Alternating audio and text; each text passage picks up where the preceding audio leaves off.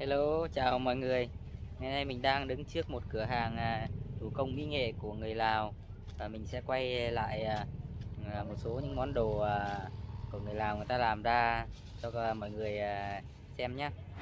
như ở Lào thì mình đi đâu mình cũng thể có thể bắt gặp cái món đồ này nhé cái món đồ này là cái món để người ta nấu cơm này người ta gọi là dùng người ta hồng xôi người ta sẽ bỏ gạo ngâm vào đây và người ta sẽ có cái cái cái nồi ờ, nước ở dưới người ta sẽ sẽ sẽ làm ờ, cơm làm xôi người ta ăn nhé. Đó. Ờ, cái này để đi đâu mình cũng bắt gặp cái này.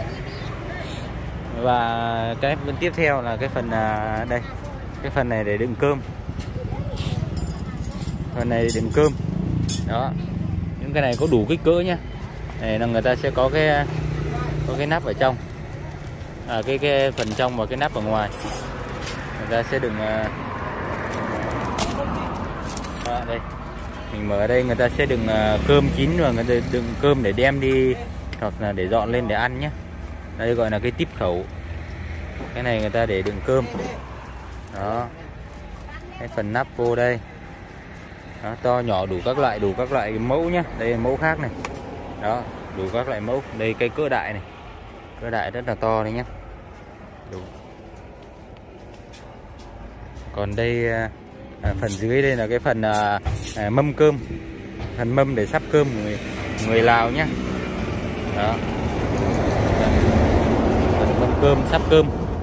À, đấy. Nó có rất là nhiều mẫu. Đó người ta làm à, à, có chân đàng hoàng chân đế vì người ta thường hay ngồi trên sàn người ta ăn nhé không không không bàn ghế người Lào thì người ta hay à, ăn à, bốc. Nên là người ta sẽ ngồi trên à, một cái phản mà người ta có cái mâm để người ta ăn. Đó, đây còn trên này là cái phần phần này là phần để gì? À, treo trên à, treo và lê làm à, à, gọi là treo để lấy lấy lấy hê lấy hên. Người ta hay treo trên à, trên nhà hoặc là treo trên xe nhé để mang cái tượng trưng giống như kiểu là để kiếm cơm rồi hay là gọi là lấy hên đem cái cái cái hên cái may mắn đến gọi là đó. Cái phần này là phần à, còn à, bên đây. Ở bên đây là những cái cái cái cái nắp. Nắp này là để nắp vào những cái cái phần uh, xôi đó nhá. Nắp vào những cái phần này để người ta không sôi này. đó người ta sẽ đậy nắp. To nhỏ nó đủ các kích cỡ người ta sẽ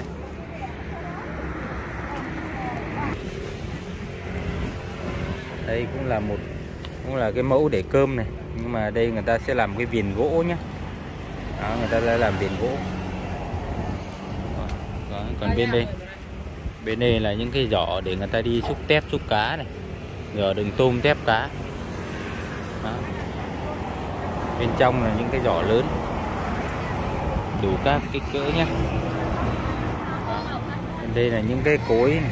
cái cối này để người ta làm à, tẩm sụp người ta hay thường làm à, gói đu đủ người ta sẽ dùng những cái cối này nhé đủ cái cỡ to nhỏ luôn. Đó bên này là bên này là có cả cối cối nhôm này. À cái cái nồi này mình nói cái nồi này để để người ta nấu sôi này đó.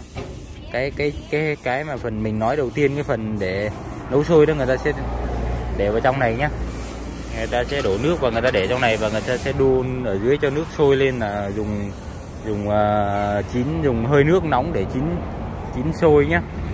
rồi à, các bạn à, xem video nhớ ủng hộ mình một like và bấm đăng ký kênh để theo dõi nhiều video mới à, của mình xin chào và hẹn gặp lại các bạn ở video sau